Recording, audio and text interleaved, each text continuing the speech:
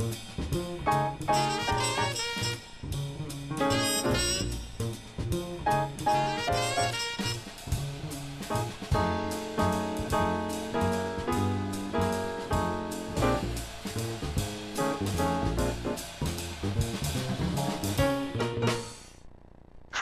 I'm Tiffany Vasquez, and I'm what you call a very lucky gal.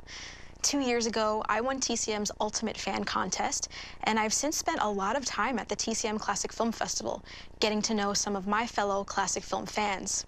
So it was a dream come true when the folks at my favorite channel asked me to come back and host this month's spotlight on Movie Girlfriends.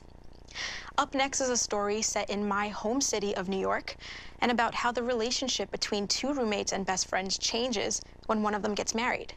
It's a film aptly titled for our festival. It's Girlfriends from 1978 and directed by Claudia Weill. I love the main character of this movie, who's played by Melanie Mayron. She's someone pretty much all of us have related to at one time or another, regardless of gender. A 20-something who is trying to figure out what the heck to do with her life. Like so many New Yorkers, she's an artist, in this case a photographer, who just wants to be successful, but in the meantime must sometimes take jobs she feels are beneath her just so she can pay the rent. And the film itself examines the female friendship in a way that few had done before.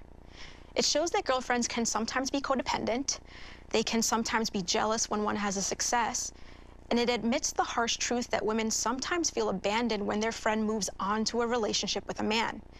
Melanie's best friend in the film is played by Anita Skinner, and you'll also be seeing the great Eli Wallach, a very young Christopher Guest who's playing it straight for a change as Melanie's potential boyfriend in the movie. And there's also Bob Balaban, who was recently in a show I love about women trying to make it in New York City called Broad City.